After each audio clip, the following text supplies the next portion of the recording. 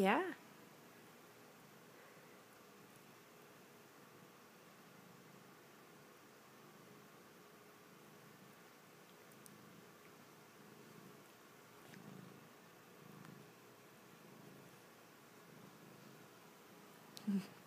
so silly having a tree in the house, huh?